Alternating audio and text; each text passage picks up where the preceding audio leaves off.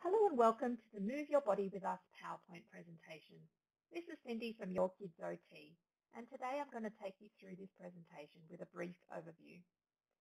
The title page includes two links, one to the Your Kids OT website and one to an information page at the end of the slideshow.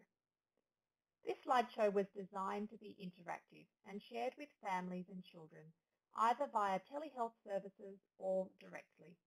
Parents might like to use this at home Teachers can use this in their classrooms on their interactive whiteboards or via their online learning platforms. Click anywhere to get started. Children are encouraged to choose a part of their body to move. You can ask them, what are we going to move today?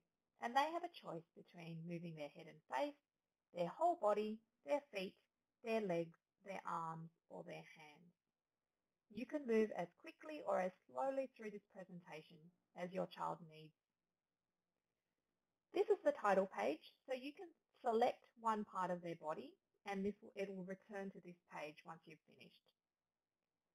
So simply click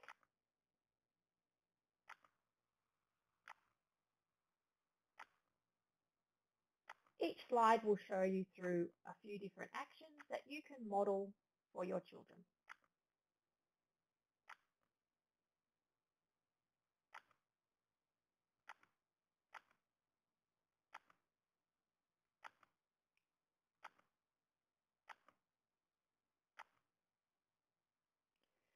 Slideshow is available from the Your Kids OT website shop or also on the Your Kids OT Teachers Pay Teachers shop.